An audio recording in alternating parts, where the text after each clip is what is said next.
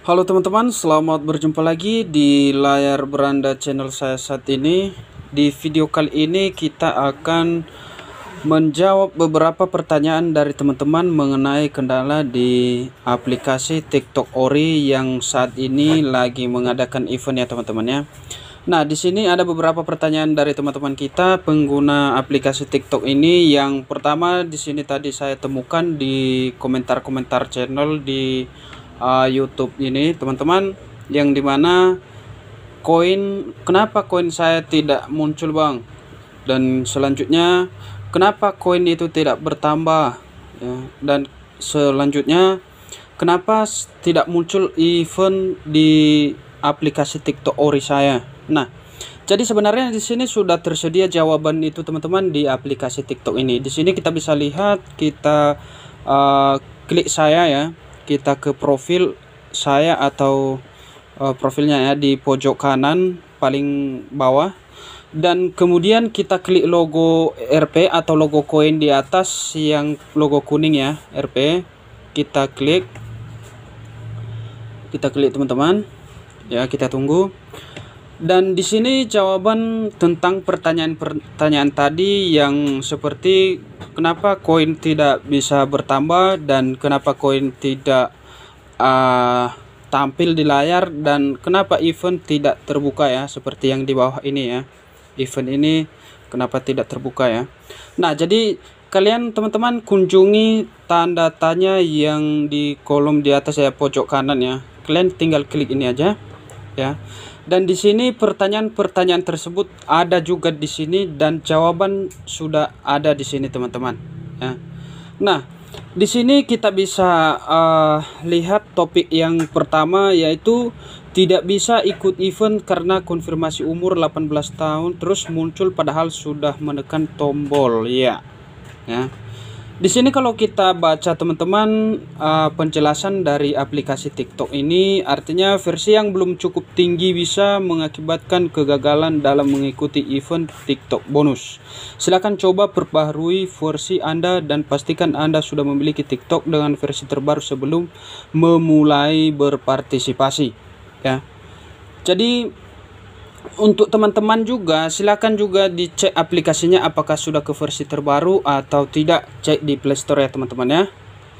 Yang berikutnya kenapa saya tidak bisa menemukan atau tidak bisa melihat rujukan atau mendapat saldo hasil dari undangan teman? Ya di sini bisa kita baca penjelasan dari aplikasi TikToknya teman-teman. Dan pertanyaan-pertanyaan teman-teman sudah disediakan di sini dan jawabannya pun sudah tersedia di sini teman-teman.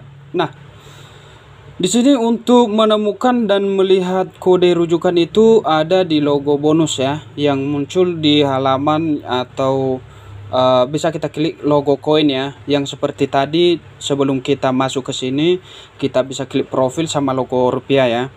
Nah, jadi di situ kita bisa melihat kode undangan dan rujukan kita teman-teman ya.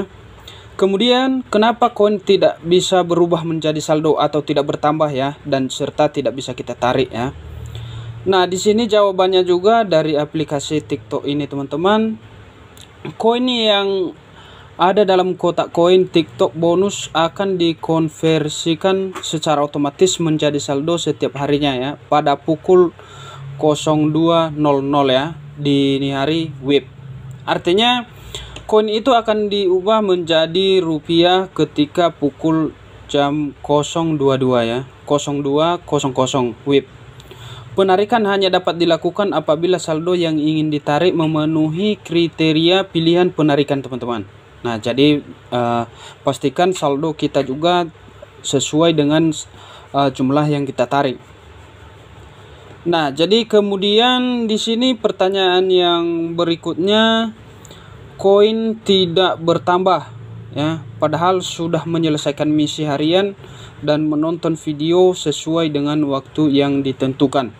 Nah, jadi ini penjelasan dari aplikasi TikToknya teman-teman bahwasanya misi harian menonton video hanya dapat dilakukan satu kali dalam sehari ya. Maksimal kita tonton yaitu 30 menit. Nah, jadi Artinya di sini teman-teman, ketika kita uh, menjalankan misi untuk menonton video, maka di sini kita wajib menonton maksimal 30 menit. Ya dan misi ini hanya satu kali dalam sehari kita selesaikan teman-teman ya ketika kurang dari 30 menit berarti kita tidak ada penambahan koin karena waktu yang sudah ditentukan 30 menit dan bahkan lebih bagus kalau lebih dari 30 menit teman-teman ya jadi koin yang kita dapat dari menyelesaikan misi harian ini menonton video disesuaikan dengan frekuensi pelaksanaan misi yang Anda lakukan. Nah, begitu teman-teman. Artinya untuk koin yang kita dapat itu disesuaikan dengan misi yang kita lakukan. Oke.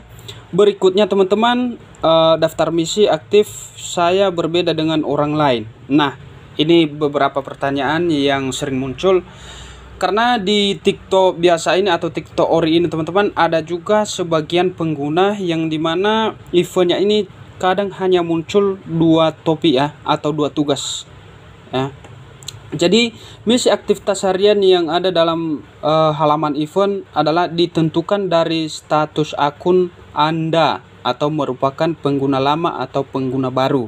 Nah, jadi di sini terjawab semuanya teman-teman karena itu ada perbedaan di, disebabkan karena kita disesuaikan apakah kita pengguna baru atau pengguna lama. Jadi hanya bisa kita melakukan misi harian, ya, menonton video dan tidak dapat melakukan misi harian lainnya. Pengguna baru dapat melakukan misi harian menonton video, membagikan halaman event, berpartisipasi dalam uh, tantangan dan membagikan video. Ya. Jadi selanjutnya di sini juga bisa kita lihat teman-teman uh, beberapa pertanyaan tadi di sini yaitu kenapa ya kenapa saya uh, tidak ada kode rujukan ya ini yang paling apa tadi ini? Kenapa kode rujukannya tidak ada ya? Jadi di sini kita di uh, sudah dibuat ya udah di ada peraturannya teman-teman. Artinya di sini kalau klik kalau kita baca di bawah ya kalau kita baca di bawah ini perhatian ya. Hanya pengguna baru yang belum pernah mendaftar atau mengunduh aplikasi TikTok yang bisa memasukkan kode rujukan dan mendapat koin.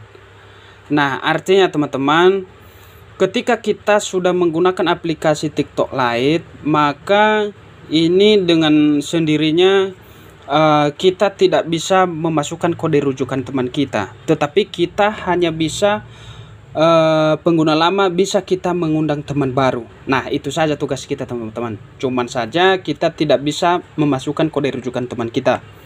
Nah, jadi setelah kita menautkan itu baru kita dapat kode atau dapat koin dari kode rujukan yang kita gunakan. Jadi uh, yang perlu kita ingat tadi teman-teman ketika kita uh, mendaftar ya mendaftar ke TikTok Lite ini, eh, TikTok Ori, maka untuk pengguna lama secara otomatis kita tidak bisa memasukkan kode rujukan ya. Dan untuk uh, selanjutnya kalau kita lihat teman-teman uh, aplikasi TikTok Lite sama TikTok biasa ini mungkin satu perusahaan mereka ini ya teman-teman ya. Makanya uh, ketika kita sudah mendaftar ke TikTok Lite masuk kita daftar ke TikTok biasa secara otomatis kita tidak bisa memasukkan kode rujukan teman kita. Oke seperti itu saja. Semoga bisa bermanfaat ya